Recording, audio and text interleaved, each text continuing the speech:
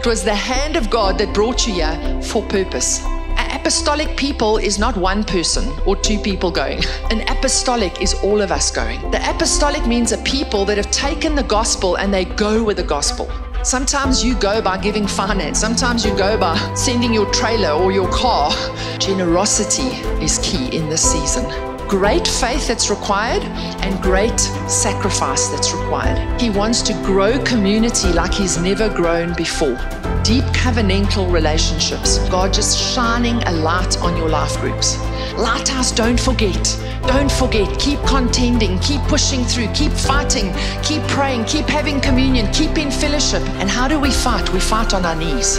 We fight in prayer. You'll fight for the supernatural. Seeing salvations day after day after day after day in the city. You are a lampstand in this city, in this nation, and in the nations of the world. Get ready to be that apostolic people.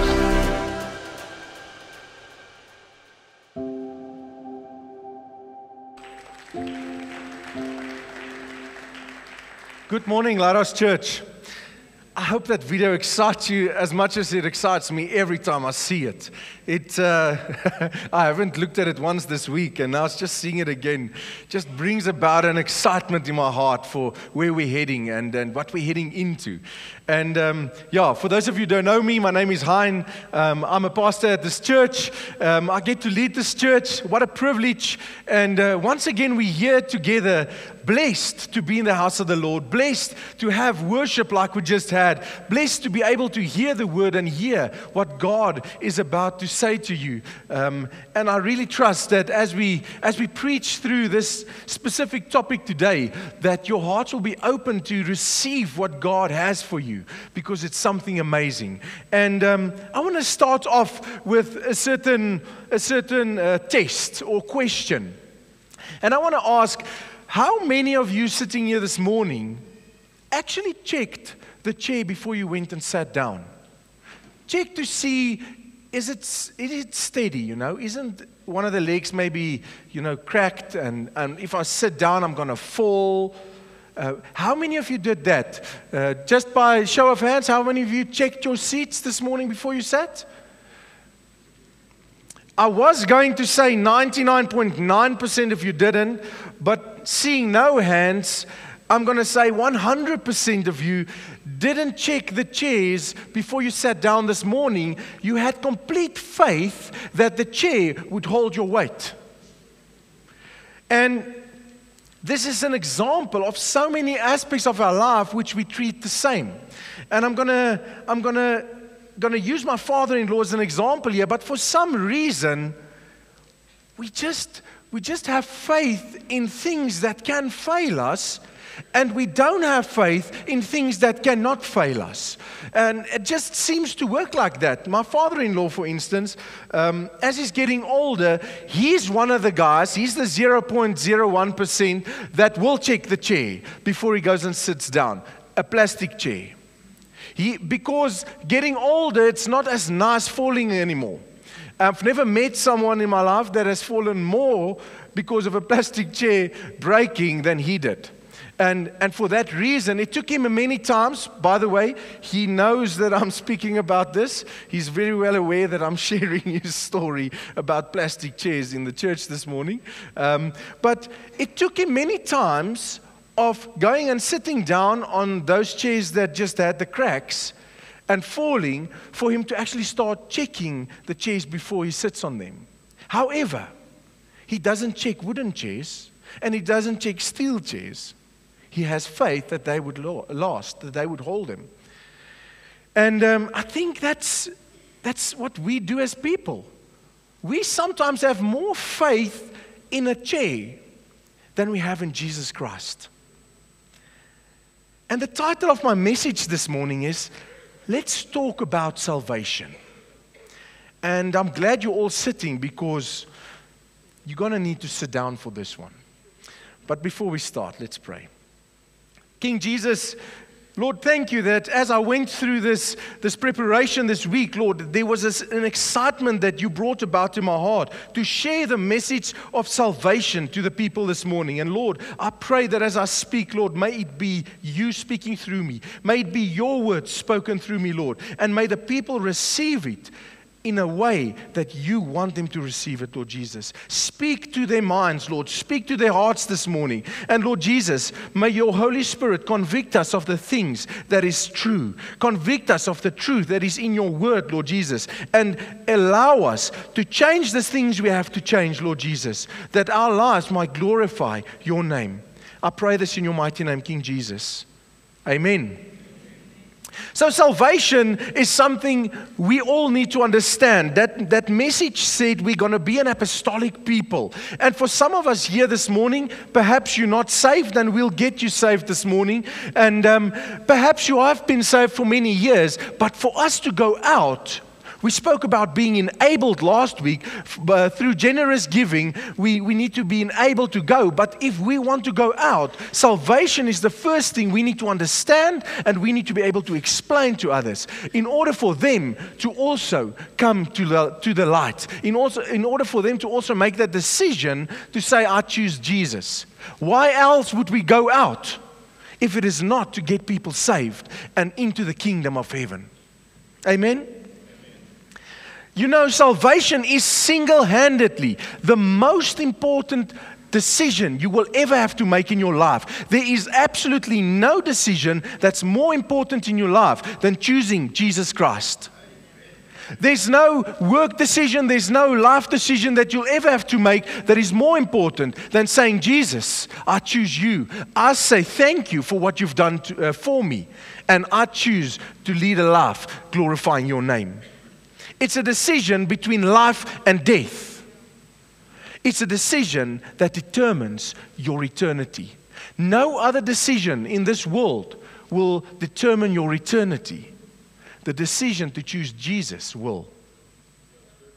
John 3, verse 16 to 21 says the following For God so loved the world that he gave his only Son that whoever believes in him should not perish but have eternal life. For God did not send his Son into the world to condemn the world, but in order that the world might be saved through him. Whoever believes in him is not condemned, but whoever does not believe is condemned already, because he has not believed in the name of the only Son of God. And this is the judgment. The light has come into the world, and people loved the darkness rather than the light because their works were evil. For everyone who does wicked things hates light and does not come to the light, lest his work should be exposed. But whoever does what is true comes to the light, so that it may be clearly seen that his works have been carried out by God. First things first. If we read this piece of scripture, there's a very particular word that I want to highlight this morning. God gave his only son. It is done, it's past tense. He did it, he gave it. Did you know that before Jesus Christ came, people didn't have the choice to choose a free life, to choose a life in Jesus? They didn't have that choice, and there was absolutely nothing they could do to deserve or to earn that. Did you know that when you were born, there was absolutely nothing that you could physically do to deserve and earn the salvation that Jesus Christ brings? Nothing. He gave His Son in order for us to be able to choose and to make that decision. There's no obligation of law anymore. But there's that decision that we need to make a decision between life and death. Only that. Only that. Jesus Christ was sent into, into this world not to condemn us. It specifically says that in this uh, portion of Scripture. Jesus didn't come to condemn us, Jesus came to save us. And we need to have a mindset like that. If we have a mindset that Jesus Christ came to condemn us, to condemn this world, we have the wrong mindset, friends. We have to think of Jesus as our Savior and not as the accuser. There's one accuser, and that's the devil. He accuses left, right, and center.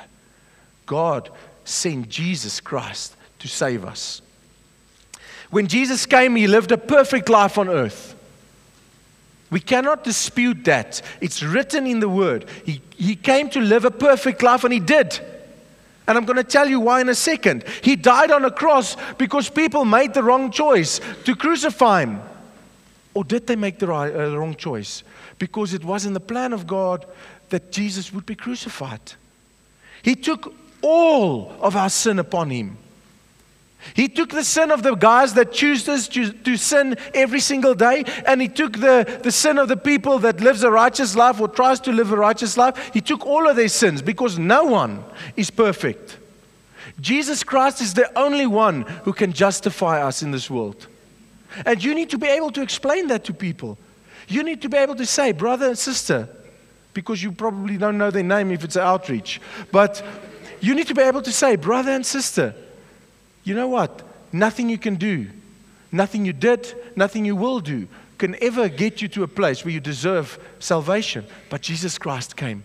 Did you know that? Only Him. He's the only one that can justify you. So, was Jesus' sacrifice enough? How do we answer that question? The answer is yes, Jesus, His sacrifice, it was enough. Why? Because God raised Him from the dead. God raised him from the dead, written in the Bible. He sits at the right hand of God as we speak. His sacrifice was enough because if it wasn't, Jesus would not be sitting next to God the Father. Come on. If it was enough, what can we do then to share in the justification of what Jesus did? Mark 1, verse 15 makes the following statement the time is fulfilled and the kingdom of God is, ha- is at hand. Repent and believe in the gospel. That's what we can do. Repent and believe. The Greek word, here we go. The Greek word used in repenting is uh, the following word.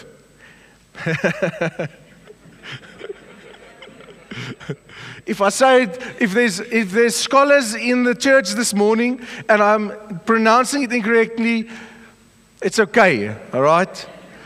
The word is metanoio. It's a Greek word that says literally to change one's mind. If the Bible speaks about repentance, Everywhere in Scripture, it refers to this word which says to change one's mind. And repenting from our sinful ways, it's an inward decision that we make and it is displayed outwardly. When we repent and say, Jesus, I am a sinner, forgive me, it becomes something that is an inward decision which makes it an outward thing that you live, live by. You can see it physically. This guy changed.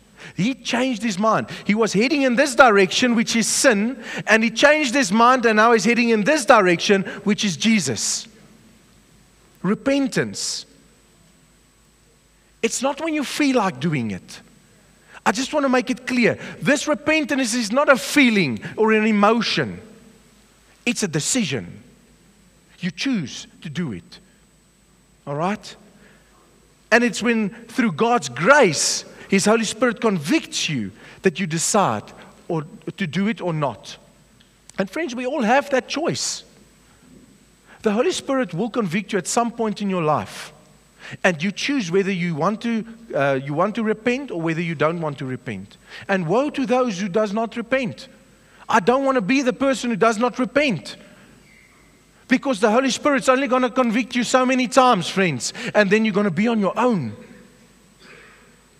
Who wants to be in that place? No one here, because you're here. But you need to be able to explain this to others. The prodigal son, he returned home. He didn't feel like repenting and stayed in the mud with the, with the pigs. He changed his mind, returned to his father. That's what we do when we repent. All right? And then once we have repented, what do we do? There's a very, very um, nice prayer that we have, everyone who's saved pray. And there's a specific reason we have the people pray that. It's the, the, uh, the sinner's prayer. Because in that prayer, we say you have to believe in Jesus. You have to believe in the name of Jesus Christ, that He is the Son of God. You have to believe that He really came to earth. It's not just something you say, you have to believe it. You have to believe that Jesus was born of a virgin. It's impossible, right? You have to believe it. We have to believe that he lived a pure life without sin. Friends, I'm saying not one bad thought. Nothing. Jesus lived a pure life. Impossible, right? He did it. You have to believe it. You have to believe that because he was from heaven, the world, darkness, the demonic forces that reigns and rules over this earth didn't want him alive. And then you have to believe that he truly died that it was Jesus Christ that died on the cross, no one else. Jesus Christ died on the cross. And we have to believe that his sacrifice was enough for us because he was risen again. Then we have to believe that he was sent into heaven, he was lifted up into heaven. And he gave us his Holy Spirit to guide us. We have to believe that. If He gave us His Holy Spirit, friends, His Holy Spirit is very much alive in us today. His Holy Spirit is very much at work in us today. We have to believe that. Because if we don't believe that, then we don't believe that He poured out His Holy Spirit on us. We have to believe these things and we have to confess these things with our mouth. And then we will be saved and justified. And I want to re emphasize no religious act, not coming to church, not coming to the prayer meeting, not reading your Bible every day, nothing can create this justification that Jesus Christ died for us for. Only repentance and believing. Do you know that? Now listen to this. Something significant that I read. John 3:16 says, "Whoever believes in Jesus shall not perish." Romans 10, verse 9 says, If you confess with your mouth that Jesus is Lord and believe in your heart that God raised him from the dead, you will be saved. Acts 4, verse 12 says, And there is salvation in no one else, for there is no other name under heaven given among men by which we must be saved. I picked up something here. All of this is a present tense not past tense. God gave his only son. Belief is salvation. No, is no other name. Present tense. And I can go on quoting one scripture after the other. I quoted three scriptures, but it's all in the present tense. And uh, it tells me that we need to keep on believing. You cannot say, I believe, and then continue with your life. You have to keep on believing. You have to keep on trusting Jesus for your life once you have made that decision that Jesus is my Lord and Savior. It sounds simple to say, believe in Jesus, confess with your mouth that He is God and you are saved. It seems very simple. But we are living in a world where, unfortunately, when we think we say something, it is now a reality in our lives. That's the deception that the devil brought into this world. Do you realize that in the times we live in today, when you say, um, you know, let's not go that route, but when you say that you this, and then, you know, it's a weird thing, but then suddenly you that, and then you, it's, what are we living in? What world are we living in? What we say is not necessarily the truth, however, we believe it. Matthew 7, verse 21 to 23 says, Not everyone who says to me, Lord, Lord, will enter the kingdom of heaven, but the one who does the will of my Father who is in heaven. On that day, many will say to me, Lord, Lord, did we not prophesy in your name and cast out demons in your name? And do many mighty works in your name. And then will I declare to them, I never knew you. Depart from me, you workers of lawlessness. Did God know that we're going to live in a world where we say things and believe it's true when it's not? He obviously did. We sometimes think, think that if we say the right things and follow the step by step, you know, we have to do this, then we have to do this, and then ta da, we're saved. Because the world works like that, right? If you follow the instructions in the book, then you're good. If you're at work and you do what you need to do, only what you need to do, nothing more, nothing less, you only follow those steps, you say the right things, you smile when you're supposed to, almost like in those shows where they say applaud, smile. We, th- we think that if we do those things, then we're saved, which means we think that if we do, we get. But when Jesus Christ came, he did what we could not do. If we couldn't do it, we will never be able to do it. Why do we try to do it? Do you recognize the deception we've come to live in, friends? I stand here and I can tell you, I love my wife and I love my children. And when someone comes in here and they want to harm, want to harm her, I would give my life to save her. But we think that if we say we love you, we pray for you, uh, you know, God has got this for you, don't worry. We believe that that's true, but we don't go home, put their name on a list, and pray for them. When someone comes in with a, with a gun, you're, not, you're going to run. You're not going to protect the person that you just said you loved. Why do we do those things? Because we do believe that when we say it, it's true. We love you, Laka. doesn't work like that, friends. True salvation is where we live a life of faith and belief every single day of our lives. It's an ongoing process. I can identify as being saved, but I'm not going to make it on Judgment Day if I don't live according to that if our lives contradicts what God says we should do, then salvation is a, a little bit far off for us. 1 John 5, verse 1 to 3 says, Everyone who believes that Jesus is the Christ has been born of God, and everyone who loves the Father loves whoever has been born of him. But this, by this we know that we love the children of God, when we love God and obey his commandments. For this is the love of God, that we keep his commandments. And his commandments are not burdensome.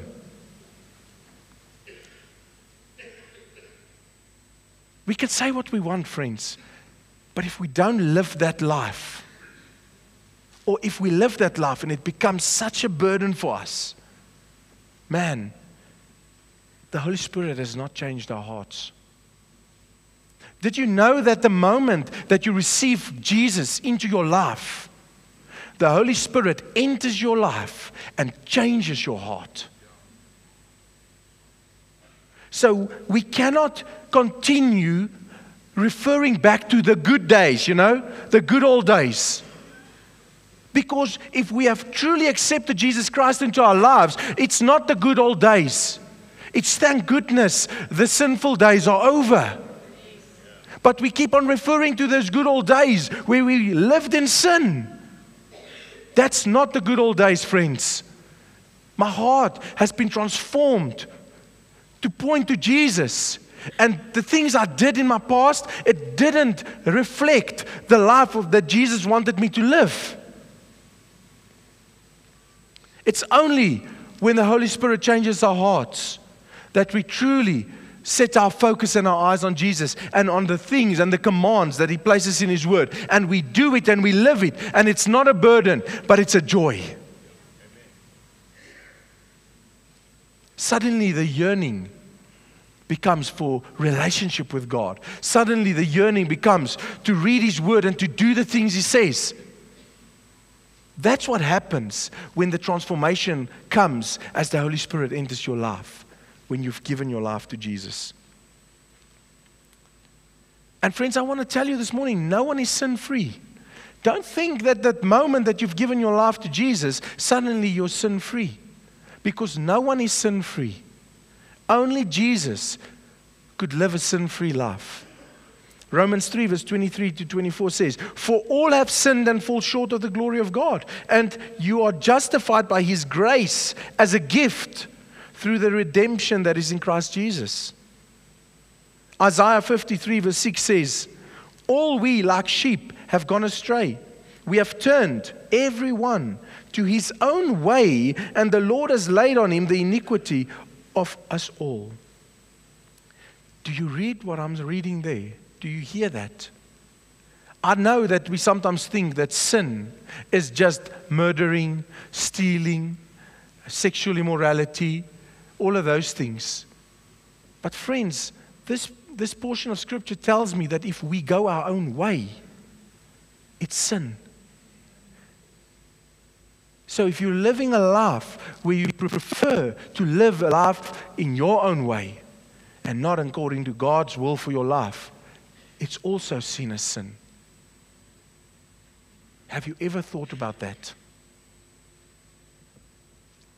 The difference is when you've given your life to Jesus and you've received salvation, that you recognize God's will over your life. Because you read your word, you read the Bible, you recognize God's will over your life. A true Christian desires to conform to the things spoken about in the Word of God. And when a, when a true Christian sins, their heart breaks because they've sinned, and it leads them to repentance. That's the sign of a true Christian. And lastly, when you've made the decision that you're going to follow Jesus, you will face trials. We spoke about it yesterday in the men's, at the men's breakfast. You will face trials and tribulation when you have accepted Jesus Christ into your life. James 1, verse 2 to 3 says, Count it all joy, my brothers, when you meet, when you meet trials of various kinds. For you know that the testing of your faith produces steadfastness. The devil doesn't want you to be saved. I hope that's not news to you. The devil doesn't want you to live a life where Jesus is the one that you pursue. The devil doesn't want you to live a life where you actually change someone else's life and makes him uh, turn to Jesus. He wants you to do the opposite of what God created you for. And you know what? He will hate it when you truly repent and give your life to Jesus. He will hate it when you go and tell the good news of the gospel to someone else at your work, at an outreach. He, he'll hate it.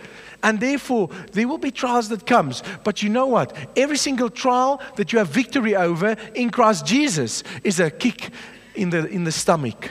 Jesus kicks him in the stomach and he, he flies off. Whatever he does. I don't know what he does. You know? Okay. Be steadfast in the, in the trials and the troubles and the tribulations that you go through. Because God has given you enough grace to stand and see them through.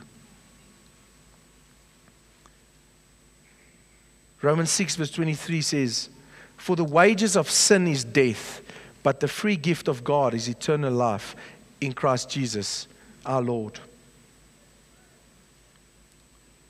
Did you know that hell was never made for us? Hell was made for the devil and his fallen angels. It's not a place where we're supposed to go. We cannot allow anybody that we have the ability to speak to to go there. We have to share the good news of the gospel to every single person that we meet, to every single person where God convicts our hearts to share. Our lives needs to reflect what God has placed in us in order for no one else to go that way. But one thing must be made very clear to every single person Jesus Christ is the only way to the Father. There is no other way, only Jesus. He placed this gift at our doors. And we decide whether we open the door and take that gift and open it. It's a decision. And many choose not to open it. But we need to, we need to be the vessels of God as an apostolic people that goes out and reminds people of that gift. We need to be those people that lives a life in such a way that people comes to us when trouble hits. Because how do we handle it so well? How do we get through all these things? Through Jesus as our Savior, through His grace and His mercy of our lives. Amen? In simple terms, true salvation comes when your heart is turned through faith in Jesus Christ by the Holy Spirit inside you as you confess and believe that Jesus is your Lord and Savior. I'll read it again. True salvation comes when your heart is turned through faith in Jesus Christ by the Holy Spirit as you confess and believe that Jesus is your Lord and Savior. Open your hearts to what the Holy Spirit wants to tell you. Spend time in God's Word to be able to know which direction you need to head into and be steadfast in the trials that comes your way. And you know what, friends? Jesus will come back for you. Maybe we all just bow our heads. As we all in this, in this place where our eyes are closed, I cannot let this opportunity go by where people sit here this morning and has not accepted Jesus Christ as their Lord and their Savior. And as all heads are bowed, I want to give that opportunity this morning. If you have never given your life to Jesus Christ, if you have never repented and believed in your heart that He is your Lord and Savior, would you be bold enough to raise your hand for me?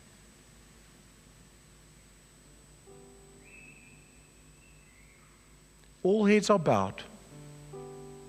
Thank you. Is there any more hands? Any more hands?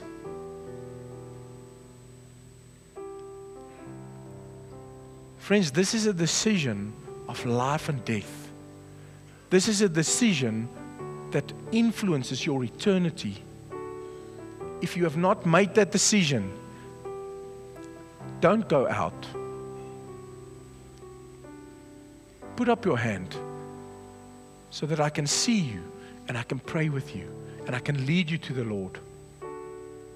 Is there anyone else? I saw one hand only.